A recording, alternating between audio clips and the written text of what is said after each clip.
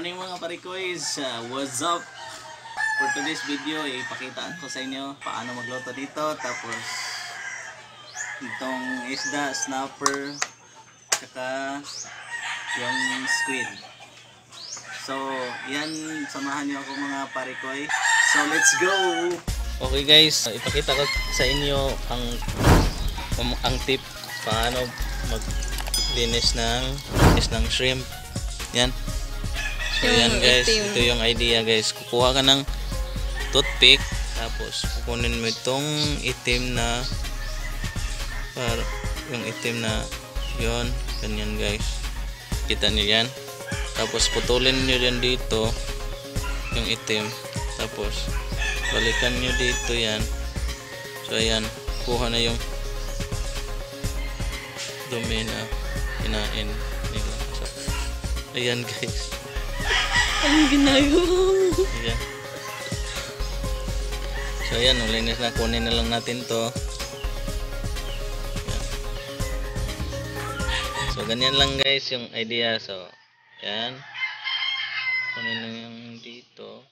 Putulon nyo yan. Tapos Uli. putulin nga. Tapos kukunin nyo yan dito. Ay ay ayan guys. Ayan mga parikoy lumabas na yung kinain nila. So ito yung ide- yung idea na pala na ito mga parikoy naku nakuha rin namin ng sa kasamahan namin yan mga parikoy nakuha namin ang idea na to sa kasama namin sa trabaho na si Jewel. So, shout out pala kay Jewel na nagbigay ng sa amin ng idea paano maglinis. So, ayan mga pare ko. eh. So, ayan. Oh, kita nyo yan mga pare ko eh.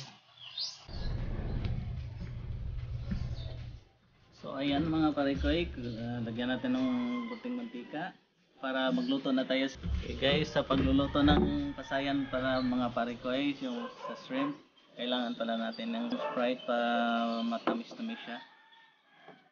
Ayan, init na guys, mga parikoy. Lagyan na natin yung onion muna kasi ano, mas malaki nito. Onion. So, onion muna mga parikoy, ang dami maliit natin. Oh, tapos, yan. Yan ulit.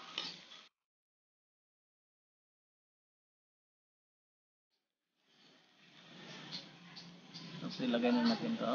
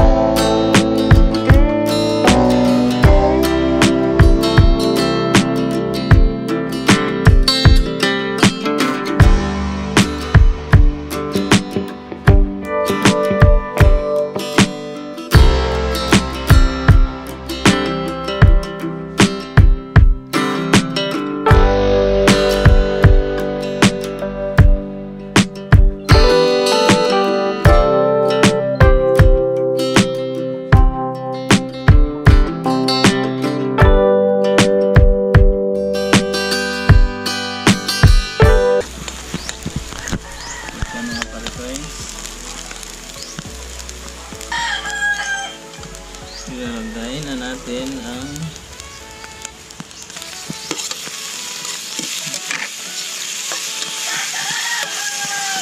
yung squid mga parikoys.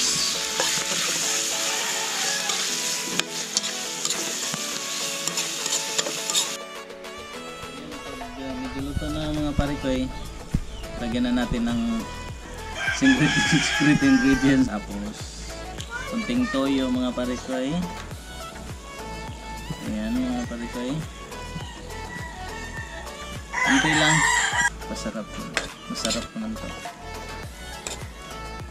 Ayan, malapit na maluto mga parikoy. Kunting, kunting kulo na lang ng sabaw. Tapos, ayos na yan para may sabaw rin tayo sa ating adobong set mga parikoy.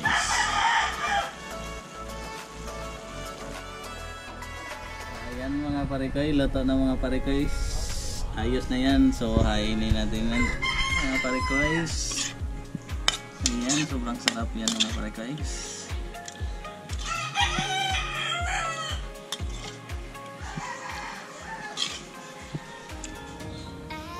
empty streets, but I kept searching for your trace in the dark.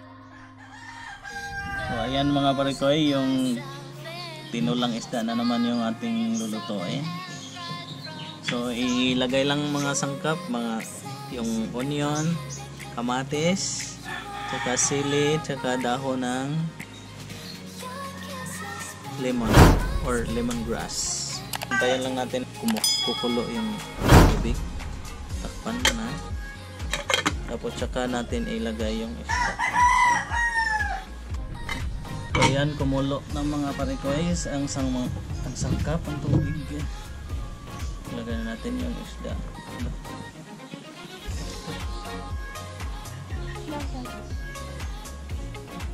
Ayan mga parikoys.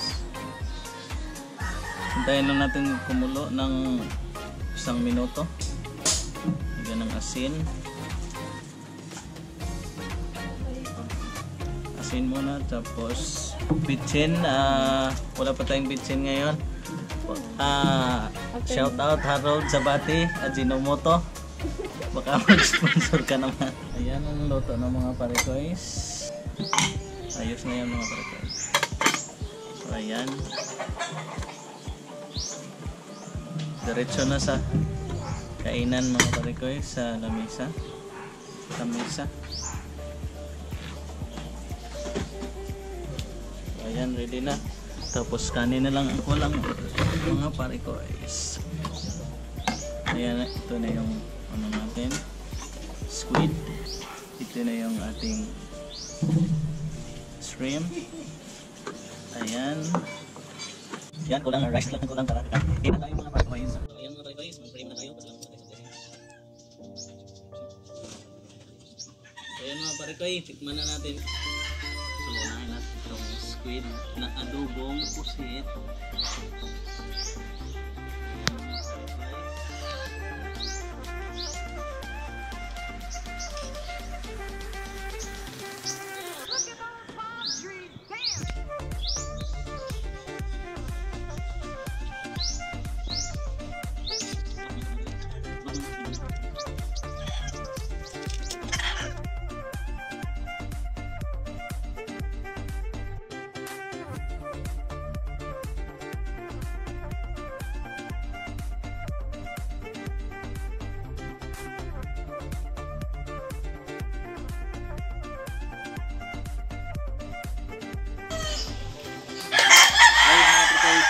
Lang dito nag tapusin na ito itong vlog na. Maraming salamat sa inyo. Tapos, sa hindi pa nakapag-subscribe, please click the subscribe button and like and please do share kung may naman kayo. Maraming salamat mga kapatid.